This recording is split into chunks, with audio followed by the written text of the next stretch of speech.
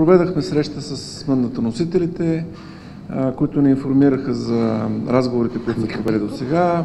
Непосредственият предмет на срещата беше евентуални промени в договорената програма, която още на, на етапа на първия мандат беше договорена. Както знаете, от наша гледна точка, това е, грубо казано, втори опит за реализация на първия мандат, т.е. стъпваме на всичко, което беше изработено и договорено в рамките на, на първия мандат. И от тази гледна точка ние сме малко по-скоро в ролята на, как да кажа, да получим информация за разговорите, които се, се водят а, с има такъв народ и продължаваме промяната. Ключовият въпрос е наистина а, между тях да се намери а, начин за постигане на баланс. А, трябва да кажа, че има, има нужда да страната да, да, да, така, да избегнем тласкането и към избори. А, много рискове има и чисто политически и свързани с а, ситуацията в енергетиката, в економиката, в областта на сигурността, а, а и здравеопазването, COVID, параметрите се покачват. От тази гледна точка гледаме на, на възможността да се излъчи правителство с третия мандат като на нещо, което трябва да бъде подкрепено. Виждаме определени знаци, че нарастват шансовете в това отношение и така виждаме също така, че вероятно ще трябва малко повече време да се даде, за да протекат тия процеси. Смятаме, че политически това ще бъде важно. Търпение, професионализъм и може да успеем да имаме правителство с, с третия мандат, което ще бъде добра новина за страната. Вие ще участвате ли в такова правителство с мандата на БСП?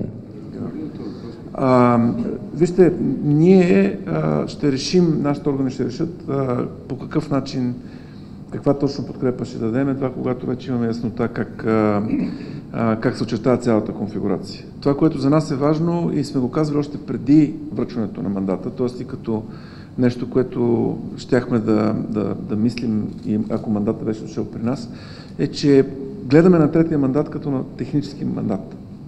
Той е мандат на посредник. Той не е мандат на политическа формация, която формира свое правителство. А, и ако, както виждаме, мандатоносителя се придържа към тази формула, така изглежда към, към момента, а, доколкото това ще е мандат, който реконструира а, четвърната коалиция, отдава дължимото на ПП като най-голяма политическа сила, включително чрез излъчване на техен а, премьер, мисля, че това ще бъде една добра база за нас да обсъдим възможността Демократична България да, да, да подкрепи, но това ще бъде решение, което ще бъде взето едва тогава на база на тия критерии, които ви описвам а, сега. Така че на този етап аз не мога да направя някаква такава окончателна заявка. Господин Иванов, кого виждате като вариант за номинация за премьер? Говори се за Асен Василев. Аз какво се говори няма да коментирам.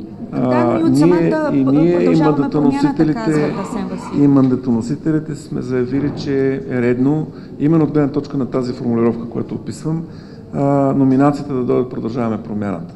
А, ние а, на, в рамките на усилието с първия мандат сме работили върху вариант с а, а, Асен Василев като премьер. Това за нас не повдига а, въпроси. А, така че ако това се окаже вариант, върху който, който е реалистичен и работи, а, това не е тема за нас.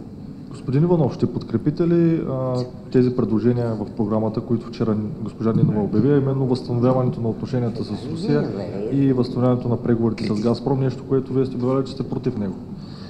Има конкретни текстове. Те са публични от споразумението, което беше постигнато в рамките на първия мандат. И тези текстове са съгласувани към този момент. Ние подкрепяме тези текстове. Тези текстове а, включват нормализиране на отношенията с Русия. Те не са прекъсвани в рамките на общоевропейската политика.